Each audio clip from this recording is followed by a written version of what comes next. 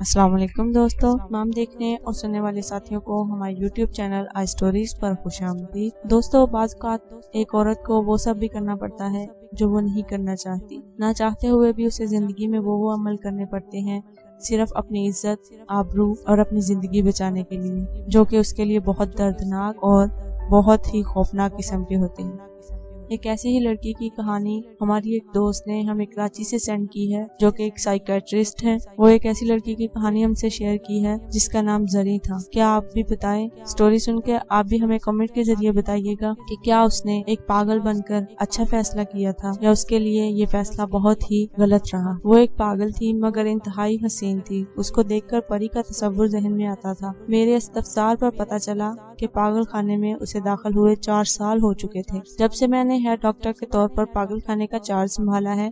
میری کوشش تھی کہ میں مریضوں کی بھلائی اور پاگل خانے میں میسر سہولیات میں بہتری لاؤں۔ میں نے اپنی سائیکٹرسٹ ڈگری لندن سے لی اور میں سال ہر سال سے وہیں پریکٹس کر رہی تھی۔ مگر جب عالمی ادارہ صحت کی طرف سے میرے میاں کا تبادلہ پاکستان ہوا تو میں نے بھی ملک عزیز واپس آنے کا فیصلہ کیا۔ جب میں اسے پاگل خانے میں بطور انچارج مقرر ہوئی تو مجھے اندازہ ہوا ہمارے ملک میں ان دماغی امراض کے حامل افراد کے ساتھ کیا زیادتی ہو رہی ہے۔ سہولیات کی انتہائی قلت تھی۔ عملہ سارا ان لوگوں کے ساتھ جانور جیسا سلوک کرتا۔ میری ساری توجہ ہسپتال کے معاملات درست کرنے پر تھی۔ اچانک ایک دن میرا ٹاکرا زرین خان سے ہو گیا۔ اس کو دیکھ کر مجھے فوراً اندازہ ہو گیا کہ وہ کسی بھی دماغی بیماری کا شکار نہیں۔ میں نے آج اسے ون ٹو ون سیشن کے لیے بلایا۔ میرے پہلے سیشن پر وہ خاموش بیٹھی رہی، مگر آخرکار میری کوششیں رنگ لائیں اور میں اس کی کہانی جاننے پر کامیاب ہو گئی۔ اس کی کہانی کچھ یوں ہے درد بھری کہانی اور دلوں کو چھو لینے والا واقعہ۔ زری خان ایک متوسط طبقے کی پڑھی لکھی لڑکی تھی۔ وہ اخبار میں جرنلسٹ کے طور پر کام کرتی تھی۔ اس کے ماں باپ ایک کار حادثے میں جام بھوک ہو گئے تھے۔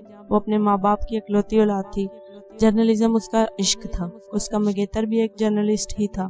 شومئی قسمت زری اپنی شادی کی چھٹیوں پر جانے سے پہلے آخری دن ایک پریس کانفرنس میں کوریج کے لیے گئی۔ کوریج کے دوران ایک مشہور سیاستدان کی حوث بھری نظروں کا شکار ہو گئی۔ اس نے پہلے اس کو چند راتوں کے لیے خریدنا چاہا، مگر اس کا انکار دیکھ کر اس کو اپنی چوتھی بیوی کا اعزاز دینے پر راضی ہو گیا۔ اس نے زرین کے مگیتر کو ایسا ڈرایا، دھمکایا کہ اس نے زرین سے دو سال پرانی منگنی توڑ دی اور ملک سے باہر چلا گیا۔ وہ سیاستدان زرین پر روزگار کے لیے زندگی تک کے دروازے ایک ایک کر کے بند کرتا جا رہا تھا، مگر زرین اپنی جگہ چٹان کی طرح قائم تھی۔ زرین کے انکار نے اس کے اندر کے حیوان کو بیدار کر دیا۔ وہ ایک رات اس کے گھر زبردستی اپنے گنڈوں کے ساتھ گھس آیا اس کو بے آبرو کرنے کی کوشش کی۔ اس نے بہادری سے مقابلہ کیا، اس کو ایک آنکھ سے محروم کر دیا۔ پولیس اور پریس کی آمد پر اس باثر شخصیت نے اس کو پاگل بنا کر پیش کیا۔ زرین جانتی تھی، اگر وہ پولیس کی حراست میں گئی تو اس کا کیا حشر ہوگا۔ اس سیاستدان نے فاقی سے زرین کو بتایا کہ وہ پاگل بن کے چپ چاپ اپنی زندگی پاگل خانے میں گزار دے۔ اگر اس نے بھول کر بھی اس کے خلاف زہر افشانی کی اور میڈیا میں خبر دی تو اس کا جو حال وہ کرے گا، وہ دنیا دیکھے گی۔ اس سیاستدان کے سر پر ایک مشہور خاندان کا ترا تھا۔ اس کی خاندانی بیوی اور بچوں کے لیے یہ خبر بدنامی کا باعث بنتی۔ اور ہاں الیکشن بھی تو اگلے تیس دنوں میں متوقع تھے زرین بے ساختہ ہنسی اور بولی۔ غرض میڈم صاحبہ، اپنی عزت بچانے کے لیے میں نے یہ کڑوی گولی نکل لی۔ ہمارے معاشرے میں اکیلی عورت کو تو لوٹ کا مال سمجھا جاتا ہے۔ یقین کریں ڈاکٹر صاحبہ، ان پاگلوں کے جھرمٹ میں میں زیادہ محفوظ محسوس کرتی ہوں خود کو۔